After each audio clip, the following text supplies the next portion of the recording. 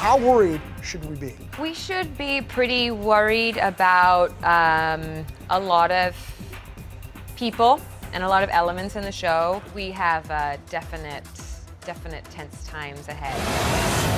We still don't know if Maggie's husband Glenn can save her from the walkers. Lauren's new pixie cut also has her fans worried.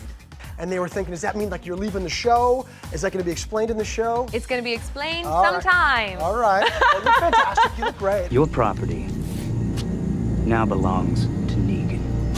Negan. In the Walking Dead comics, he's pure evil. Coming up in the series, he'll be played by Jeffrey Dean Morgan, who's been a good guy on The Good Wife and Grey's Anatomy. It's going to be a good.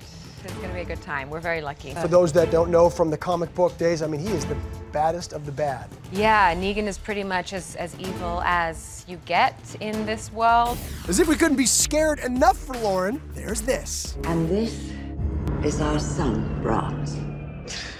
In The Boy, Lauren is the nanny to a boy doll.